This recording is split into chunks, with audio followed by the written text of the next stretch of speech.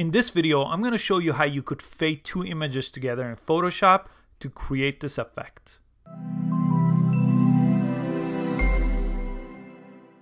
So I have two images here that I want to blend together. This is the first one and this is the second one. And I need to bring both of them into the same Photoshop file. So to do that, I'm going to go to my second image. I'm just going to grab it here from the layer and I'm going to drag it onto this and let go. And now I could resize it so they both have the same shape and size. I'm just gonna grab and stretch.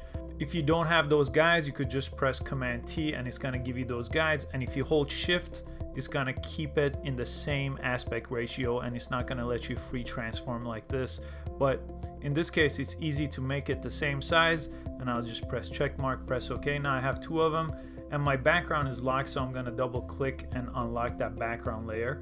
So now I have layer 1 and layer 2 underneath on top of each other like this. So I'm going to select one of my layers, my top layer, and I'm going to create a layer mask. Down here, if I click this, I get a layer mask. And this is my layer mask on top of my top layer. Next, I want to pick the gradient tool. This is the gradient tool. Keyboard shortcut is G. I'm going to select it and I want it to be black and white. So up here, I want black and I want white and this is the default setting. So make sure you pick the default setting.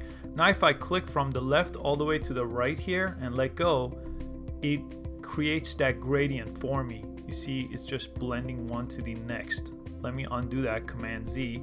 Let me do it from top and bottom now now that's more of an effect I'm looking for. I want something a lot more pronounced than this. This is too subtle, so I'm gonna Command Z. So to change that, we just wanna change the effect of the gradient. So I just click the gradient tool. This is the gradient I want. And right now it's very subtle. So I could change that by grabbing this and making most of it black and just a little bit of white. Let's see what that does. Now if I go from top to the bottom, now it's too much. I barely see the water, so I could undo that and come from top to somewhere in the middle here.